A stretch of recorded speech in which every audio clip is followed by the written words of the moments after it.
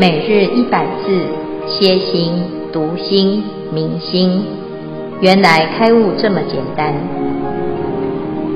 秒懂楞严一千日，让我们一起共同学习。秒懂楞严一千日第六百三十日，主题宴会地经文段落：名即觉满，名宴会地。经文消文，名即觉智增长，如大火炬，能烧烦恼之心；觉满，所谓觉照弥满清净。宴会表如宴之会，如朔觉之盛用。经文消文至此，恭请建辉法师慈悲开示。诸位全球云端共修的学员，大家好，今天是秒懂楞严一千日第六百三十日。我们要来总结宴会地啊，这里谈到慧光如焰，神破迷暗啊。这宴会地啊，是一个啊精进波罗蜜所成就的一地哈。在这一地当中呢，我们会看到这智慧啊啊，经过精进的修行之后啊，成为熊熊的火焰，可以烧尽一切的恶见哈。那这个地方呢，是楞严经谈到。修正的位次，好，只要有修行，一定有成果。那这个成果要有多高，或者是要多么的圆满，那就是随所发行。好，有多少努力，就有多少的结果。如果你没有结果，而一直抱怨为什么佛不灵，那其实是因为你的努力并不足够。好，所以在这里的啊宴会地呢，就要告诉我们。好，这样怎么努力？哈，努力有很多的方向。你如果一直都不是在正确的方向努力，可能就会白做工，而且越来越有问题。好，那这个应会地呢，谈到的修行啊，啊，就是明即觉满啊。那你要有什么练什么？练明啊，明要修到极致，觉悟就会圆满哈，觉性就会圆满哈。那觉满其实就是我们的目标。那要修炼这个明啊啊，要怎么样？就要开始修十法明门啊，观众生、观世界、观一切的啊法门啊，以此十法明门就能够在宴会地当中立足。菩萨住此第四地啊，这个宴会地啊，那每天勤永念之啊，就是精进的。修身受心法四年处观，哈，啊，寻身观、寻受观、寻心观、寻法观，那就是不断的观察啊，在这个观察当中，有一个正念的观察，有清净的观察，而且精进的观察，好，那观察的目的啊，除世间贪忧啊，要去掉烦恼，去掉贪心，啊，那再来呢，啊，有精进。这个精进啊，就是修善断恶四正勤。哈，那有了四正勤之后呢，就会产生神足啊。这神足啊，从欲、静、念、慧这四个方向来成就。好，那接下来就有五根跟五力：性、静、念、定、慧。那性、静、念、定、慧呢，从根而生起力量，到最终呢，回向于舍，可以让我们的心。啊，可以舍掉一切的烦恼啊，不再被烦恼纠缠。好，那接下来呢，就叫做七觉分哈，七觉分又叫做七觉知。那什么叫做七觉知啊？其实就是什么？就是觉的一个部分哈。这七种加起来就是圆觉哈，就是圆满的。那这觉要怎么开始呢？哈啊，第一个叫做念觉分。第二叫择法觉分，接下来是精进觉分、喜觉分、一觉分、定觉分、舍觉分。哈，那这几个觉分呢，都是一指厌、一指离、一指灭，回向于舍。那这七觉分呢，是让我们的心在这个觉悟上呢，可以很明确的啊，知道有这七个部分。啊，这七个部分叫七知哈，觉知哈，那让让自己的觉性啊很清楚哈。啊，有时候我们说这觉性很模糊啊，啊，我到底怎样才叫有觉性啊？第一个，你要常常有正念，好；第二个，会选择，会判断，叫择法。择法这件事情啊，啊，我们说啊，一个学习佛法的人呢，他能不能够选择跟自己最适合的、最相应的法？哈，那很多人会有问这个问题，他说：“哎，我就是喜欢啊，喜欢诵经。”好，那喜欢诵经呢，还会喜欢诵长的经或短的经。啊，有的经很好诵，有的经不好诵，有的经一诵就相应，有的经呢，哎，奇怪，诵来诵去很没有意思哈。那这个是责法吗？不是啊，这只是一种感受。感受之后呢，你要去观察，观察这是适合的法门还是不适合的法门。那你要依据什么观的来观察啊？基本上呢。大部分的人都是依据感觉，哈，心情。其实你要感知道感觉跟心情，哈，你不需要去学法啊，你就是每天就知道自己啊，现在心情不好哈。那但是呢，我们要选择法的时候呢，啊，你就发现自己有这个烦恼，有这种障碍，然后呢，哎，你在修行的时候，哎，就是去观察这个法门用在你的身上啊，它的效果是什么。这时候你就会知道，哦，这个法呢是这样子选的啊。那有的人他不知道是这样选呐，他不是把法拿来用，他是把法拿来让心自己心情变好哈。所以呢，因为哦，我我喜欢唱歌啊，因为唱歌这个方法会带给我快乐哈。那哎，我喜欢呢，哎，插花啊，插花这个法呢会增加我的福报。这个都还不够啊，为什么？因为它到底有没有？帮我们的觉性现前啊，那你插完花，哎，你的烦恼有没有借由这个啊这个因缘呢来啊这个断除哈？那要不然呢，哎，可能会产生新的执着啊。哎，我觉得呢，我自己工作做得很好，我修布施，哎，我对人哈有很多度众生的方法，那我度了很多众生，哎，这是好事。但是度了之后呢，就执着。众生相或执着我相，哈，那反而呢，这个修行的啊，这个结果呢，出来的时候却增加了执着啊。那这样子表示你的觉性啊，是要能够啊，要现前却被新的方法啊执着了障碍住啊，所以要择法。择法的过程呢，其实它就是一直在修炼自己的觉性。所以折法觉知之后呢？哎，就会产生这后面的殊胜的感受哈，有精进啊啊，有喜一定舍哈，就是你的心呢是越来越清净啊。那这最前面就是这两个最重要啊，就是念跟折法啊。这折法你要判断啊，到底你自己是适合或者是需要什么样子的方法。那这个法门的开遮持犯，这法门的啊各种面相啊，它要用在什么时间？它要用在什么对象，或怎么使用它？哈，那这样子呢？你对于学法就会有效果，而且有效率啊。有的人学佛学很久，学一辈子还是不得要领。那哎，懂得学佛的人呢？哎，他就是一下子啊，就很能够知道这个方法要怎么来修啊，就会修得很好啊。但是呢，不管是怎么样啊，都需要精进啊。所以我们看到三十七诸道品啊。啊，这三十七类的法都一定有精进哈，所以精进是最重要的要素。所以我们在讲这个宴会地呢，其实它是跟精进波罗蜜相应，凡是跟精进相关的法门都会在这里看到啊。所以这等于是所有精进波罗蜜的大全哈。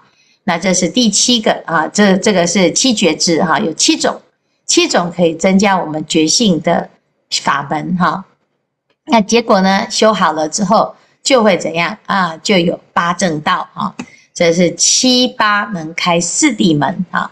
这个八正道啊，就是正见、正思维、正语、正业、正命、正精进、正念、正定啊。这个八种法呢，这种八种正啊，都是一直验、一直离、一直灭，回向于舍啊。这正见呢啊，就是知见是正确的。怎样怎样叫做知见正确啊？大部分的人都觉得我想的很对啊，我的观念很好啊，我哪里有错啊？有盲点的人永远不知道盲点嘛啊？为什么？因为他就叫盲点，才可才会看不到。啊，那别人说啊，你会觉得，哎，你又不了解我啊，你凭什么说？啊，或者是那你自己也没做得多好啊，那你的标准又是什么？哈，所以呢，啊，要依据正见啊，就是依据佛教我们的正见。佛是一切智人，所以他所谈出来的啊，这个标准呢是正确的，不是他自己想出来的，是他观察之后归纳的结果。所以三种正见哈，三种观念，第一个叫做人人皆有佛性呐，哈，就是哎，你要知道一切众生皆有佛性啊，这是佛法最根本的一种思想。好，那这个叫人人皆有佛性，所以人人皆可成佛，人人皆可修行。哈，好，第二个呢叫做啊正信因果，如是因如是果，一定啊在这因缘果报当中呢，大众要。认识正确的因果，叫知因是是果啊。那如何去改变这个因果？你要先知道呢，这个因缘果报的有为法是缘起性空啊，是因为它是缘起啊，所以呢，它可以缘的因缘呢，它可以改变啊，但是无常，无常呢啊，才能够啊容纳改变啊。如果它是一直固定不动不变的哈。众生永远是众生，佛本来就是佛啊。那众生不可能成佛，佛也不会变成众生哈。所以这中间呢，就是表示，哎，我们以为这是一个单向式的哈。那事实上呢，其实因缘是一种一直不断的变化，在刹那刹那之间，可能都会重组哈。这就是因缘，因为缘起性空哈。这三种基本原则就是佛法里面的正见。第一，人人皆有佛性；第二啊，这个因缘果报哈；第三呢是缘起性空哈。那有了这三种啊的原则，你去看所有的事情，你的思维呢啊就开始正了啊，讲出来的话就是正确的，叫正语；做的行为就是正业啊，选择的职业就是正命啊。那你依据这样子的人生方向正精进，那你就会精进有成。成就什么正念跟正定啊，那这就是八正道啊。好，那以上呢就是三十七种法门呐。佛子菩萨住此宴会地啊，修这个三十七种法门呢啊，所有身见为首的我人众生寿命欲解处所起的执着、出没思维、观察自故、我所故。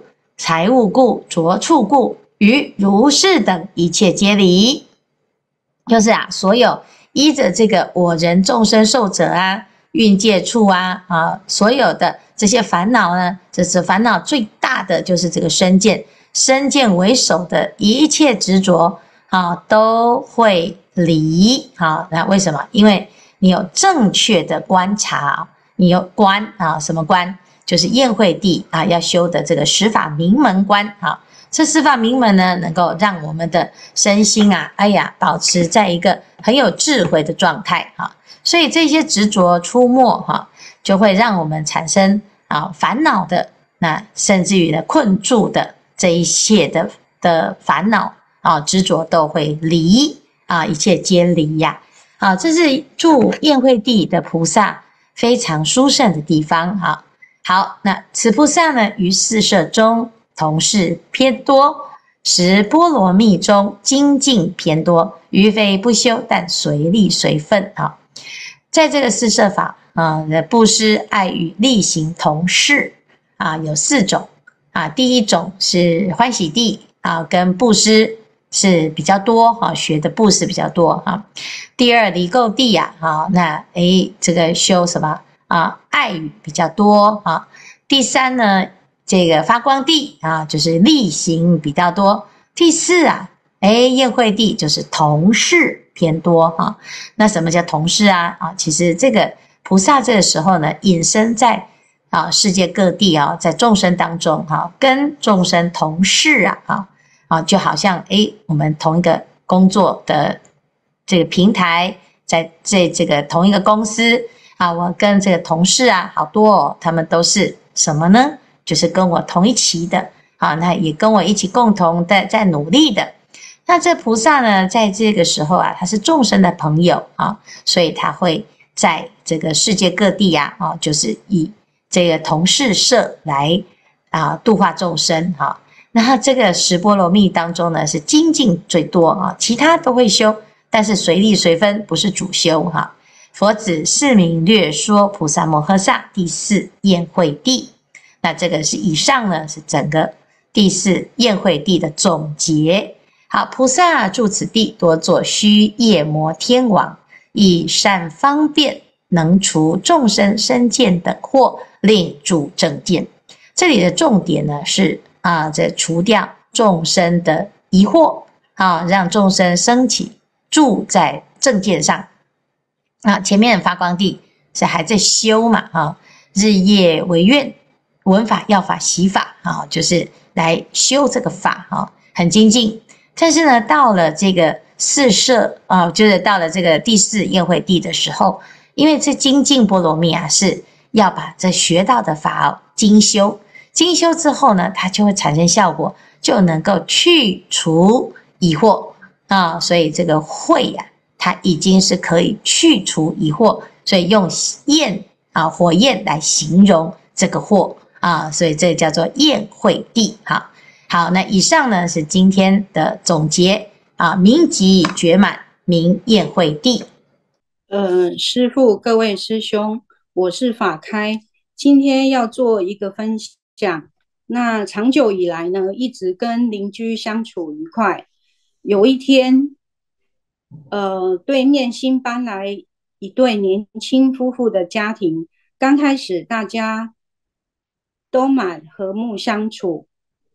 有一天，由于我家要装修冷气，于是呢，把一些要装修的物品，呃，还算蛮多的工具，一些物品先放到大大门外的空间。那那个空间就是一些就是楼梯，就不是电梯出出来那个，算是一个公共空间暂放。那不料呢，却被那位新搬来的男主人他目睹了这一切，于是呢，他很生气，且严厉呵斥说。呃，不能把这些东西放在呃那那个地方。那请我呢，赶快把它搬走。那我就跟他解释了，那只是暂时放在那里，整理好以后会把物品清空。那但他还是很不高兴，随即呢就马上打电话给大楼的总干事，反映他的不满情绪。那也。对他反就是跟总干事反映的，呃，我我的不对的地方。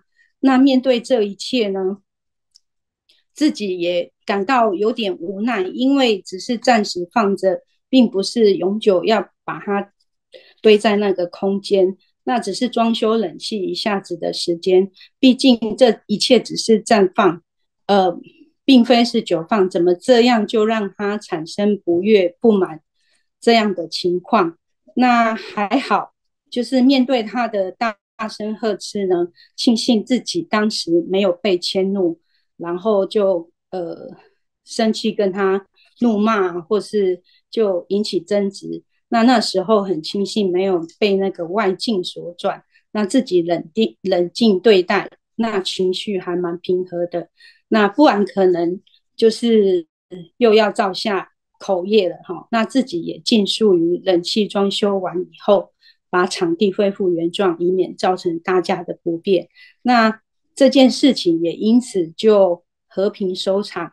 那就是很惊讶自己，就是自己在当时可以呃情绪的那么不不被激怒，那所以就。这件事能够这样子就和平收场。那以上分享，恭喜建辉师傅慈悲开示。嗯，好，谢谢美玲啊，美玲的啊分享哦，非常的生活化哈。我们在生活中呢，难免都会这个最难的就是啊啊，每天每天大家相处在一起的啊，这左右邻居啊啊，就是最有缘的陌生人啊。我们明明呢距离的好近呐，啊，就楼上楼下大概距离没超过五公尺哈，可是呢，可能住了一辈子啊，也不一定有几次的交集哈。尤其是又学佛了之后啊，啊，常常说，哎呀，这不要攀缘呐，哦，所以呢，呃，看到别人啊或者邻居啊，很也很少走动哦往来啊，就是过过去这些这个农村社会哦，哦，大家就是啊，这邻居啊发生了什么事哦，全部的村落这个社区全部都是。啊，每一个人都人尽皆知啊，哈，就好像是一个大家族一样，哈。现在呢，大家都是各忙各的，哈，而且呢，每一个人都有自己的隐私权，哈，那也比较啊会维护，啊，也比较没有安全感，哦，不太敢，哦，跟这个陌生人、不太熟悉的非相关的人员互动，哈。更何况呢，我们又是已经学佛了，哈，那基本上。啊，啊就常常也都不会说，哎，主动要去跟人家招呼哈。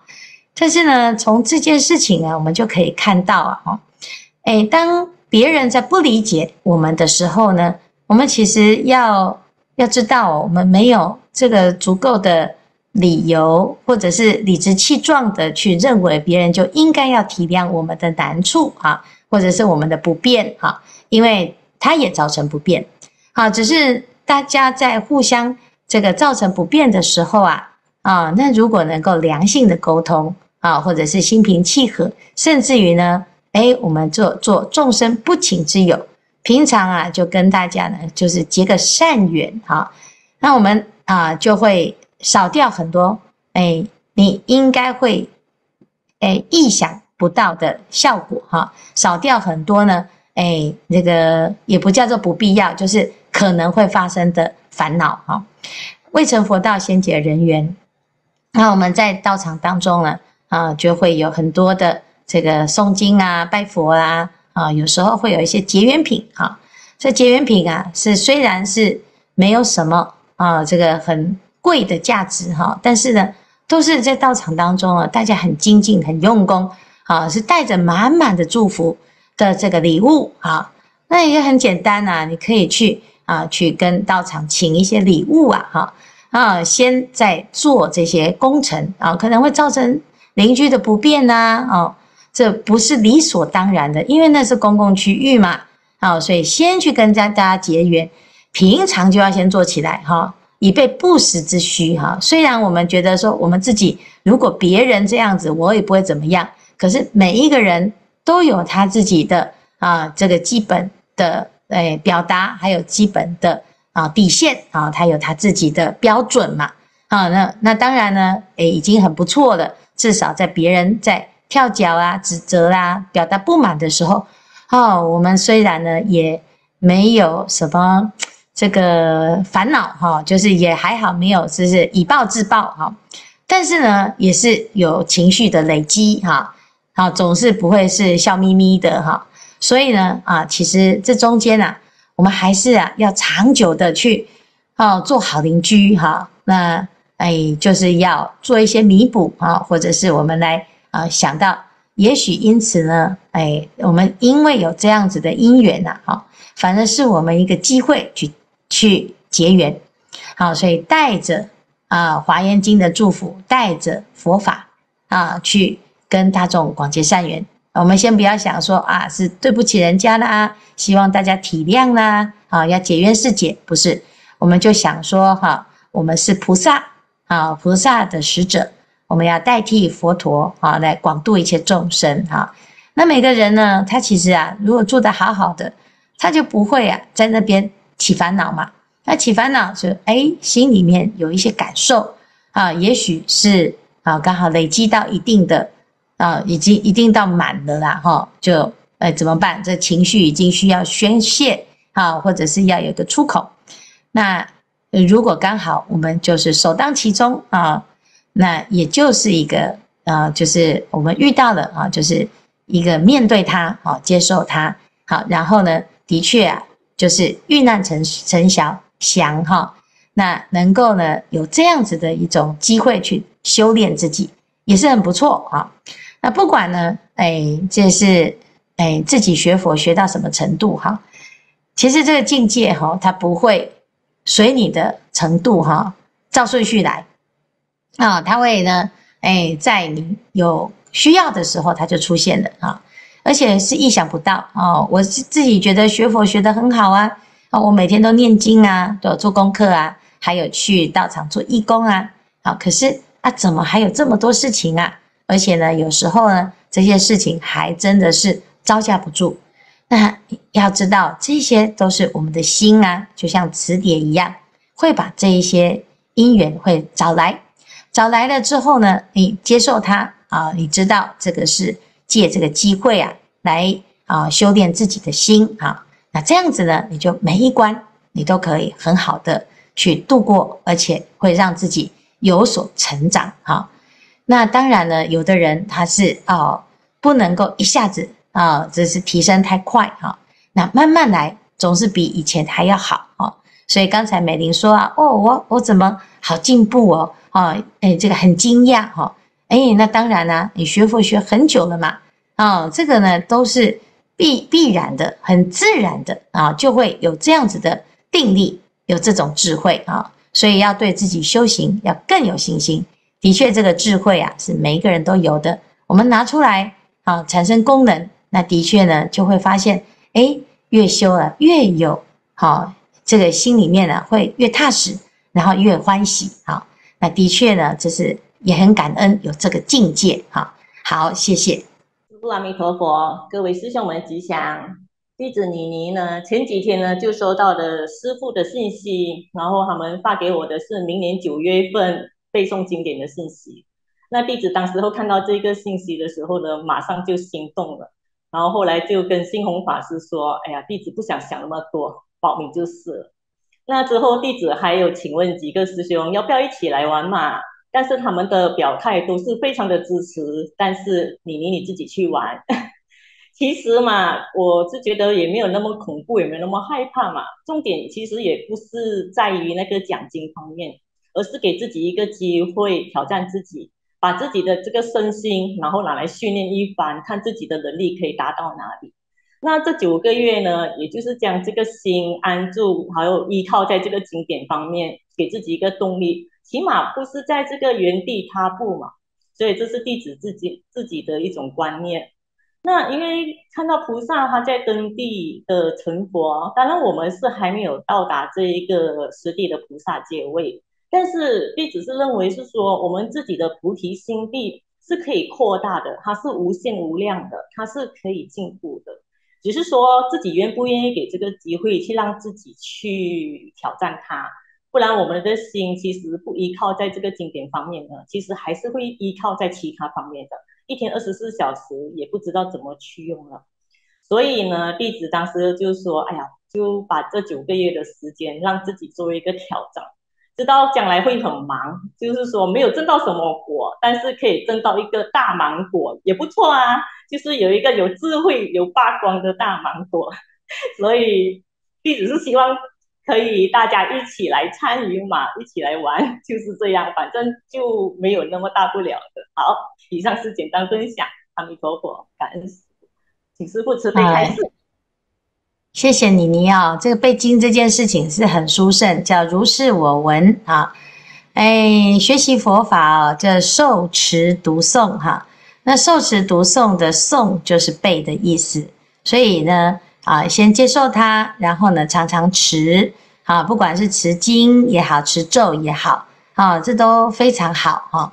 然后呢，哎，自然呢，熟了之后啊，你就能背，啊，所以最简单的背经方式啊，第一个先去报名哈，报名了之后呢，啊，第二个呢，就赶快跟上啊，这个宝岩禅寺啊，所有的这线上的活动，啊，这线上活动呢，你一直跟跟久了，你自然就背起来了。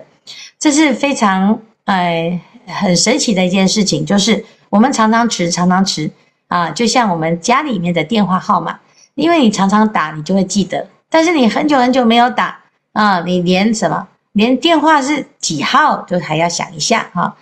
那人的名字也是如此，佛的名字也是如此，经的名字也是如此，经典的内容更是如此。那背经有很很多的好处，就是把佛陀的。的语言呐，放到自己的心哈，把它给替换掉。替换什么？替换把那个烦恼把它剔除出去。因为我们的脑容量啊，如果有限的时候，你要让它装的是好的，而不是装这个爱恨情仇哈。所以背经的功德力啊是非常非常殊胜哈。那再来呢？哎，我们跟着这个行程呢走的话，哎，你就自然而然就背起来，一点都不困难。那然后呢，又去参加比赛呀，哈，得到的奖金又可以见到场，哈，真是不错哈。我们请呢大家呢，就是啊，是所有的菩萨哦备好的，都赶快去拿奖金哈，然后来见宝也禅师。嗯，这是一件很不错的啊一个功能哈。那当然呢，不是为了奖金哈，只是。我们觉得自己这这个生命啊，竟然能够把佛陀的教法一直不忘，那我们就是阿难了。阿难尊者就是如此哈，读楞严经啊，就是要变成阿难嘛。那阿难呢，啊，有受持读诵，然后要不然就是做摩登前女啊，也可以啊，或者是呢做文殊菩萨也可以哈。